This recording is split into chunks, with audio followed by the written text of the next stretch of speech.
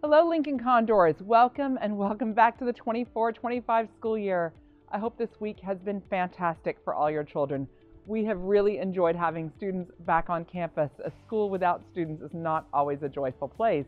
We've welcomed over 120 new students to campus this week, over 10 faculty and staff, including two new principals in our elementary and our high school divisions.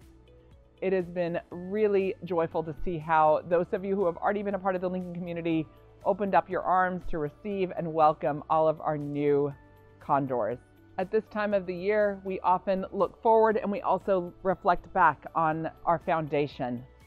Our mission statement is put in front of our students, our faculty and staff, and our parent community frequently throughout the year and especially at the start of the year. And we look at the words that resonate with us kind, ethical, global citizens.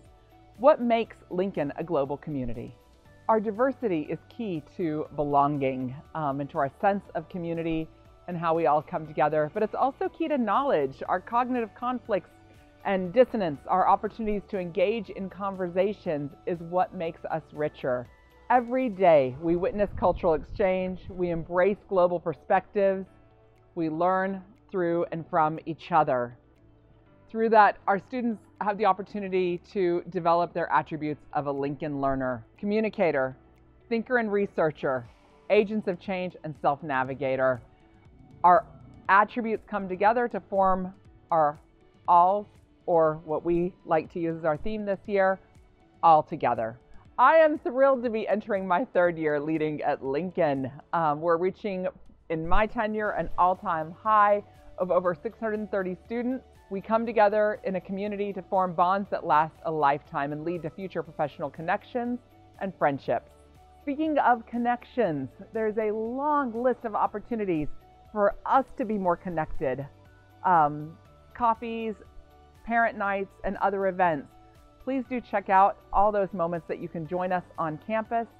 All the research shows us that the more that you are able to connect with the school, even if you don't see your child when you're on campus, the more that they're going to have academically, socially, and emotionally successful and productive years.